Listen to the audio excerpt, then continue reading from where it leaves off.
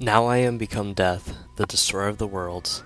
This is a famous line of Hindu scripture dwelt upon by the scientific director of the Los Alamos Laboratory, J. Robert Oppenheim, while viewing the catastrophically successful detonation of the gadget, an implosion designed plutonium device that would begin the world's flirt with atomic power.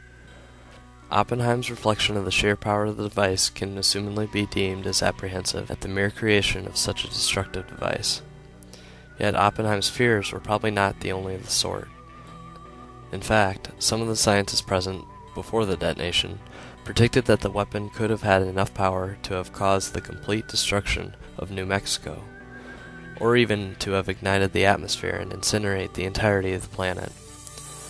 The entire world would soon learn the devastating power of the atomic weapons with the famed bombing of Hiroshima and Nagasaki, Japan in August 6 and August 9 of 1945. The suspicion and fear over the potential use of such massive firepower would shortly engulf the world, careening the planet's superpowers into a race to build bigger, better, and more atomic weapons. Such possibilities behind the harnessing of atomic energy would keep powers on edge, as later events like the Cuban Missile Crisis of 1962 would bring the very planet to the brink of complete and utter atomic devastation, furthering the bleak outlook of a cold atomic standoff between the world's powers.